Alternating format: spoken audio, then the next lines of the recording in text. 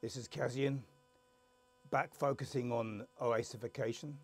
So this is a podcast two on this subject. So today I thought I'd um, sport one of my other tartan ties. This is actually the um, official tartan for the Australian military. This is based on the colours of Ayers Rock. Sometimes you may see diggers sporting kilts in this tartan at memorial sites playing bagpipes. Yeah, there's the Celt in us going back to the Indo-Europeans. But let's get back to the trees.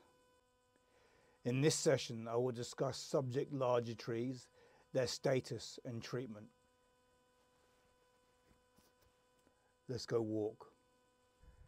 So coming to our trees, in actual fact, there are three subject trees here. To the left is a young Marri.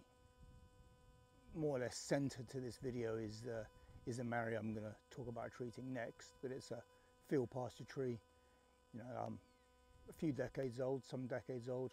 And then we have our large fellow, you know, this, this tree is um, certainly a king of this piece of land. And uh, again, I marvel at the lower canopy that this tree is producing as a part of its adaptation into becoming a field pasture tree. So here we, here we have our two subject trees. We have our, our young Marri gum just to the left. And then um, our older tree, I mean, nowhere near middle age, still, still really, you know, a late teenager really. But anyway, this, uh, what I want to draw your attention to is, you know, look at the color signature of the young Marri. Look at the foliage. And then, then look at the color signature of the, the older Marri gum. And you'll see there's a variation. I mean, young trees like young people, young animals, you know, we're programmed with vitality. You know, even if we don't have the um, resources necessary, uh, youthfulness carries us through. Yeah, I mean, in the case of trees, as trees get older, there's a greater need for their associate organisms to help deliver the elements they need. You know, this is below ground. So just walking in, I'm going to focus on the foliage. Okay. You can see that coloration, you can see the sort of density of canopy. It's an indicator. Let's go compare. So again, walking in to our subject.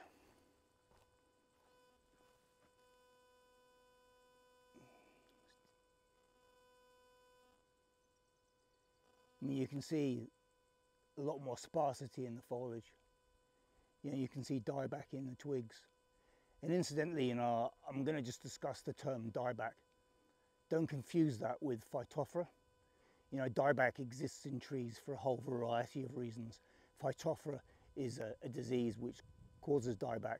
In some ways, it was a mistake to label Phytophthora as dieback. Yes, it causes dieback, but there are many reasons why, and we shouldn't be we shouldn't be sidetracked. So dieback is a stress response.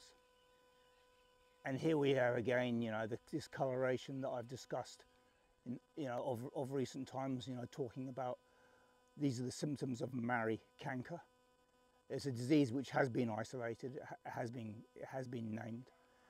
Um, but as I'm going to keep pointing out in my tree casts, you know, canker is a stress response.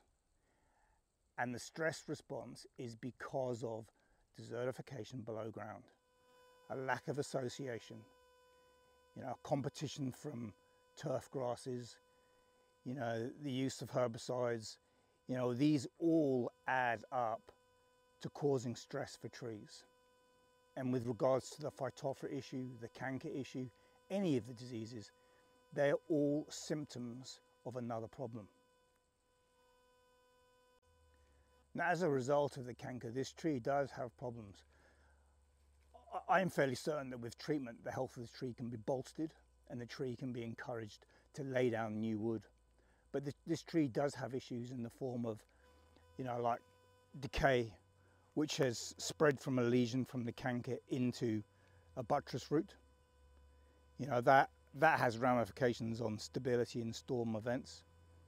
And then coming up the tree, we can see, you know, we've got two codominant stems, yeah, and a fork between those stems.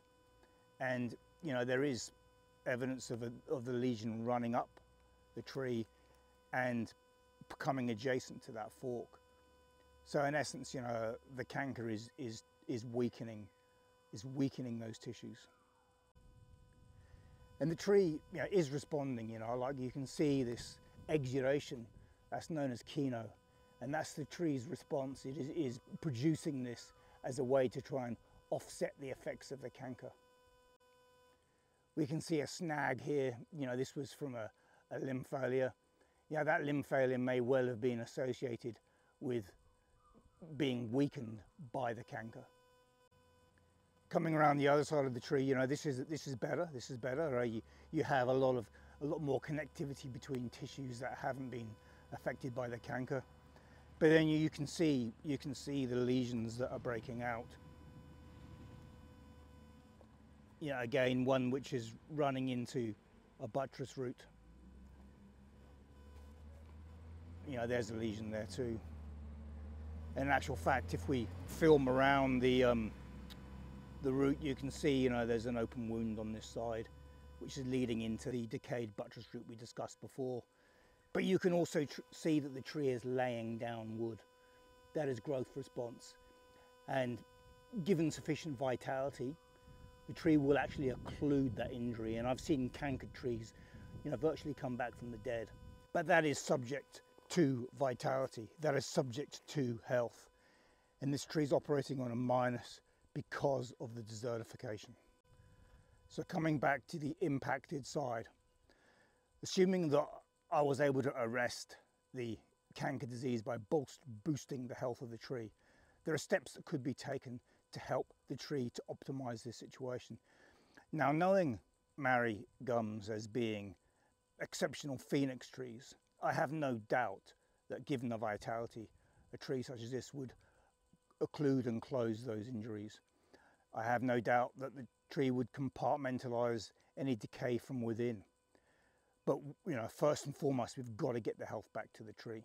While I'm on this discussion point, I will acknowledge this fork. Forks such as this can be supported, can be supported by, by inducing natural grafts between the forks. This is a subject I'll, I'll discuss later, later in my tree TreeCast series as I find uh, examples of this in nature. I'd just like to add that I have a very substantial body of work on a canker disease that I assessed on the east coast of Australia, outside of the range of Marri canker. Um, this canker disease in question has a lot of parallels to this particular canker disease the issue over East is we don't have a biosecurity initiative which enables funding. I attach my past professional report on the disease I named canker syndrome, this being to enable a greater understanding on what constitutes a canker disease. This will be attached to this video under the description. You know, standing back from the tree and just, you know, considering those defective components I've discussed. I mean, I don't, I don't like to use the term defects, you know, because trees naturally optimize such. I, I refer to these as mechanical constraints. But with those mechanical constraints in mind, you know, let's step back, let's look at the upper canopy, let's look at the overall tree. You know, this, this tree still is likely to stand up to wind events for some years. You know, as far as I'm concerned, I have time to help support this tree to make um, the kind of recovery that our forest giant has with reclaiming, generating a new, a new crown beneath the old forest crown. Just to add, based on this tree's short height, field pasture crown, and capacity, I would invest in it by oasifying its growing environment. And just considering the oasification side of the story, I'd like to discuss this, this paddock tree is a good example with some good indicators. But you know, here we can see the shadow of the tree. The sun's high, so the shadow of the tree is, is cast to its actual drip line. And so if I was to treat a tree like this, if I was to look at restoring its growing environment, you know, I would be treating from the trunk, extending out to two to three meters beyond that shadow, creating a large oval, you know, or a large circle, if you like, um, which would be a, a, nutrient bed and the soil beneath that I would be treating with vertical fissures. You can see the shadow outlines with the three trees. These could all be treatment zones. We could even join these three treatment zones together and make one large nutrient bed. That's a term I describe under the description. So if I was to treat this tree, I'm going to do exactly the same thing, but because it's a much larger scale, you know, so I'm going to be going, okay, well, we'll make a soil moat because it's so desertified here. A small soil moat really helps. A berm, you know, sometimes they're called swales. Sometimes you can just do half berms or you can do a series of half berms and they really help with staging water. You know, this land was recently subjected to a, to a major rain and most of it just ran off the surface. And that's because of soil compaction. By using berms or swales, we help to stagger the water into the ground and, and with aerating the soil, um, that, you know, the, the water penetrates. You know, the berms and the aeration go together. So, you know, I, I would I would go to two to three meters beyond the drip line of this tree, you know, and, and make a large circle.